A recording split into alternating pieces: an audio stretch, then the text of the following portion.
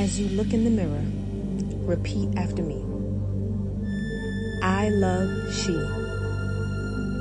She is me. Now remember to treat she that way. I am who God says I am. I will choose to eat healthier foods that honor my temple.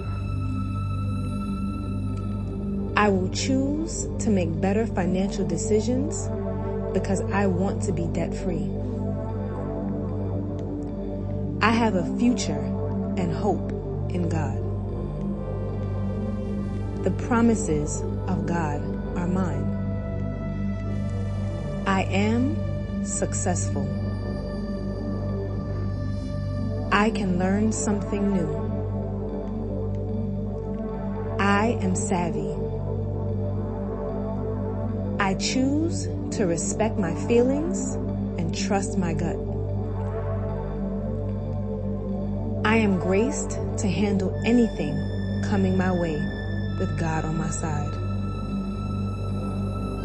I am limitless. I am powerful. I am she.